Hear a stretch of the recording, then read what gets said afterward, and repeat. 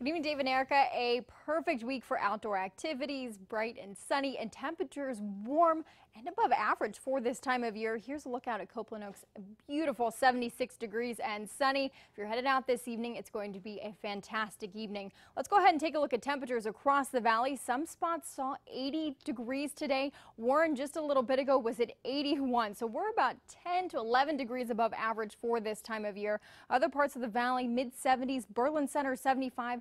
New Castle sitting at 76. Here's a look at a very quiet radar. Hard to find a cloud in the sky out there. A beautiful evening. And this is all brought to us by a nice area of high pressure that's controlling the weather at least through Friday. But we do have some possible changes for the weekend. I'm keeping my eye on this tropical system that's sitting on the coast of South Carolina and Georgia. The models aren't really sure what they want to do with it, but some are indicating some showers Saturday and Sunday. So I'll closely monitor this over the next few days and we'll keep you updated on what to expect for your weekend. Let's start with a look at your evening. If you're headed out, it's going to be fantastic. Temperatures eventually falling into the mid 60s, but once we hit sunset, temperatures really going to drop. So grab a sweater, grab a fleece if you're headed out.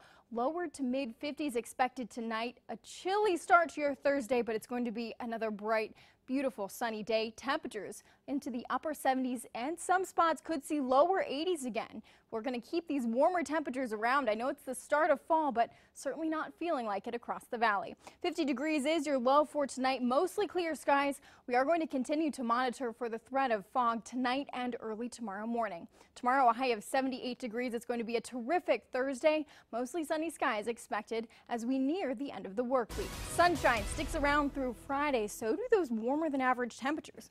Friday, a high of 76 degrees. But notice we have a change on Saturday and Sunday.